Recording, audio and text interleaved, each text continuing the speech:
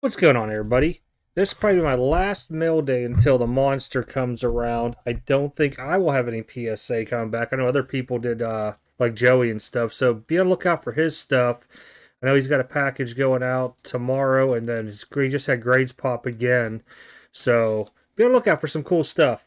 All right, guys, you already see what I picked up here? This is all from Whatnot. The first card is from Sappy Sports Cards. This is really cool. This was a redemption. Charles Barkley Origins uh, out of 10. I believe it's 10 out of 10 too. Yep, 10 out of 10. Thinking about sending this in to be graded. Um, really cool piece. I liked it when he was in Sixers uniform. So I don't know if I will actually get rid of this or not. Um, it may just stay in this one touch, to be honest. Just really cool piece. Uh, of course, they'll probably go up to trade night and stuff like that too for the show. Maybe get into something different with it. All right, everything else was off of Polo. I would probably say 50 60% comps roughly if you add it all up.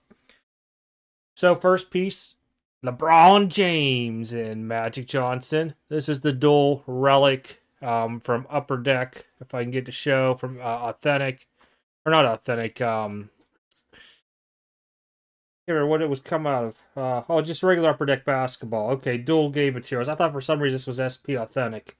Don't know why, but cool piece. Um, again, something I don't know. Let me get the focus back. What I'll end up doing with it. These only sell like a hundred bucks. Um, there's nothing real crazy out there, but just a cool piece to have.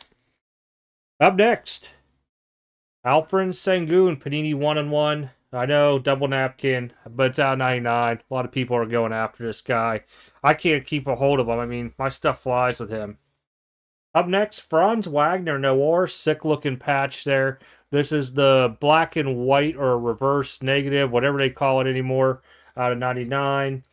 Uh, and everybody's gonna ask, is it game worn? It's not associated with any specific game or event.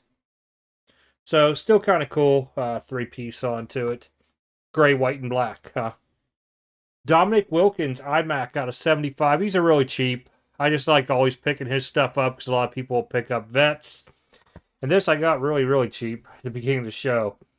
Um, even though I wanted to, I heard him say it. I was like shocked by the price. These go for about 45, 50 bucks, but Carmelo Anthony yellow red mosaic from 1415 uh, Prizm SGC 95.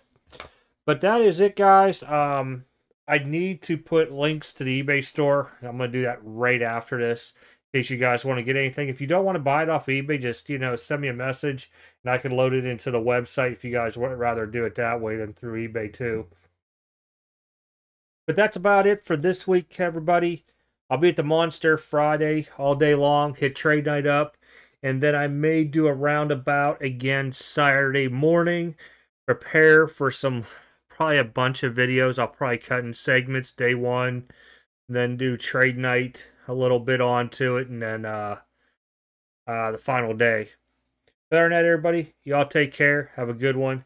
Catch you guys next video.